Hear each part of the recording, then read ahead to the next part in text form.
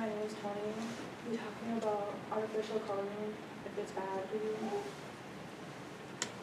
How many of you eat food that are colored or bright? I'm sure all of our kids do too. They love that. Uh, But one thing bad about artificial coloring, it contains petroleum, which is many causes in ADHD in kids, six percent. What ADHD means is attention defici- deficiency hyperactive disorder.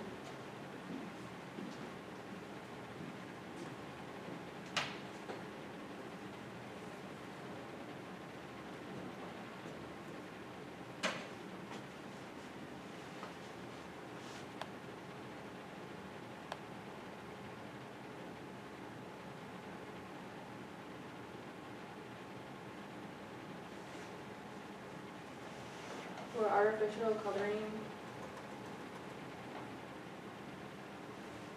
it contains um, red 40 and it's in most every food that we eat.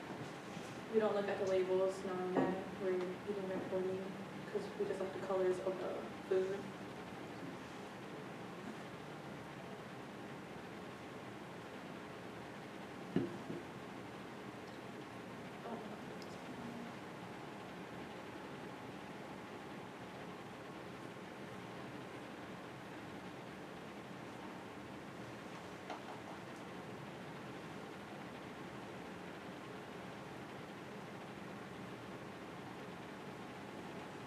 Red 40 could be in any of our food that we eat to all to salad dressing.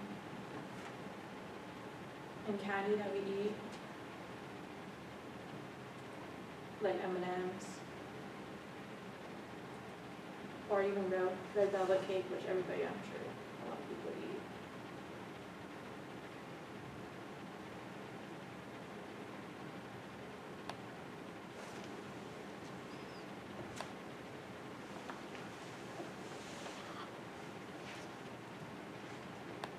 In fifteen years, the Food and the Drug Administration has kept food dye called Red 40, number two on the market for many years.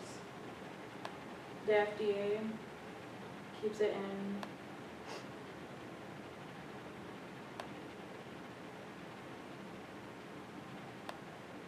The FDA keeps pushing it in, knowing that it has evidence of causing ADHD in kids, even adults, and causing cancer and minor um, birth defects and sterilization and early death to like fetuses and like small doses.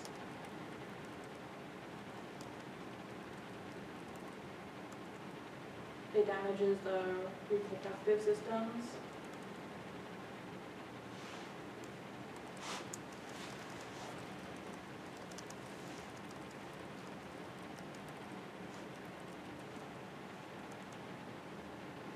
It even damages like in animals, it damages um, chromosomes. But the FDA, FDA keeps pushing it through.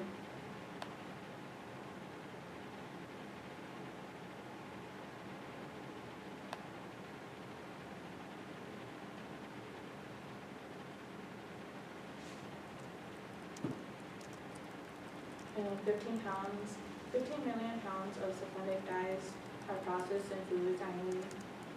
Per capita consumption has risen five, fivefold since the nineteen fifties. The FDA primary forms of an oversight is to ensure that illegal levels of contamination like lead, ars, arsenic, and ben, are not conceded. Food dye could be in your Lucky Charms cereals, like your M&M candies that I showed. And then contains an array of synthetic dyes that are processed, even your jello, chocolate pudding contains even the blue one, yellow five, and red forty. Your Kraft mac and cheese has yellow five and six. Your cherries are contain like red three and red forty. Even your salad dressing could be have dye in it.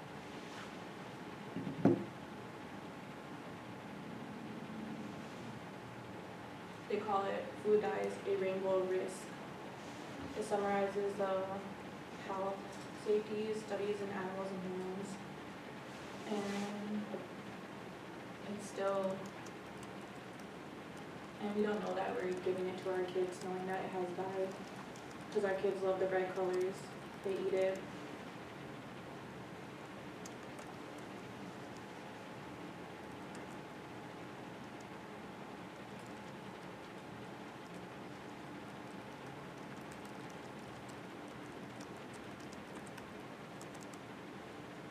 What we can do is by cutting out artificial coloring out of dyes, by reading more labels and, um, giving them organic foods without the food dye, being closely attention to them.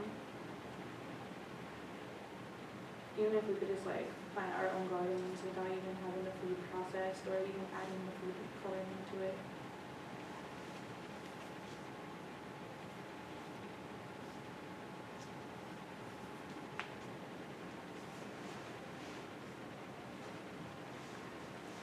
From one, I didn't even know petroleum was in food coloring, so it's kind of scary to even think about giving it to your kids. And it probably explains why more, more kids are having ADHD or being diagnosed, whether, even though it's probably not their fault, and that it's from the food coloring that we give them.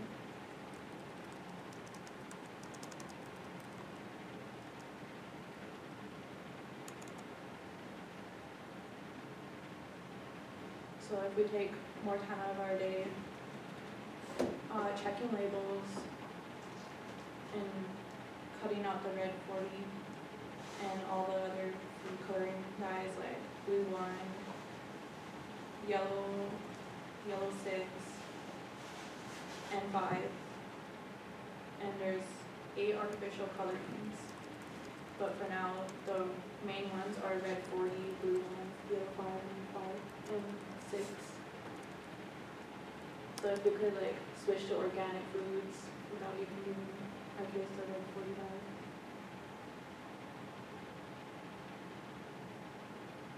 And that's all. Okay.